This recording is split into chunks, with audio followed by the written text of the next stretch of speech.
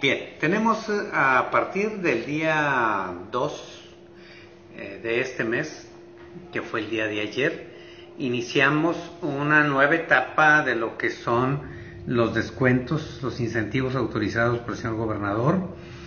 Eh, hay una variable nada más en el sentido de que el 20% que se venía aplicando en placas y engomados va a seguirse aplicando, nada más que ahora tendrían que hacerse los pagos vía internet.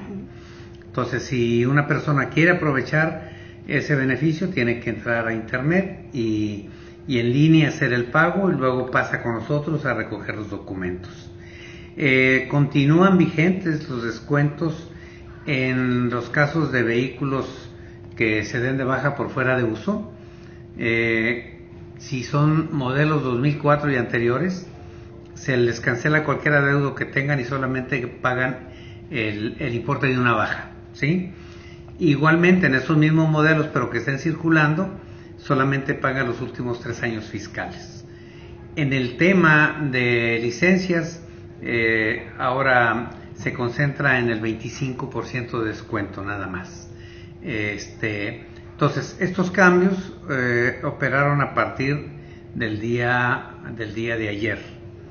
Es probable que en estos días vaya a entrar en vigor un apoyo, sobre todo para los contribuyentes que radican en las colonias afectadas por la inundación.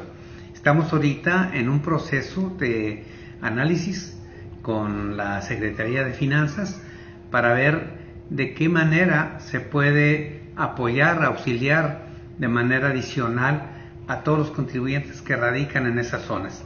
Sería un programa que iniciaría eh, posterior a que se restablezca la contingencia que